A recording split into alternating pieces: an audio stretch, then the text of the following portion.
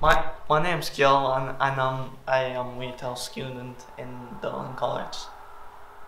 I live in Court with other students. I have my own room and, and it's so peaceful.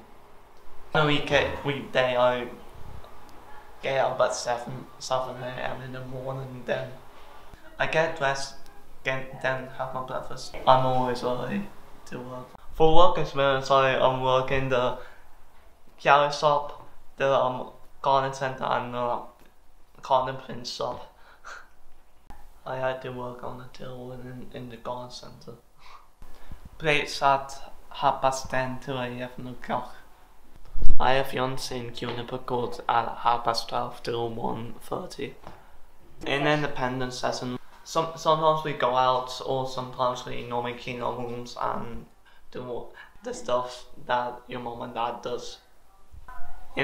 Full clock session, you have well-being sessions that that you can like do at the gym or the mass games or say a story and stuff like that.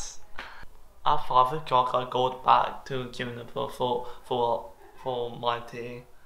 In the evening, I I I um hang out with my friends at the discos, and we we have lots of fun basically, just hanging around, and sometimes it gets a bit um, too much for me, so I just go in my room sometimes and just chill out. I go to bed around, around about 10 or 9, depending how I feel and stuff. Bye. Bye. Goodbye.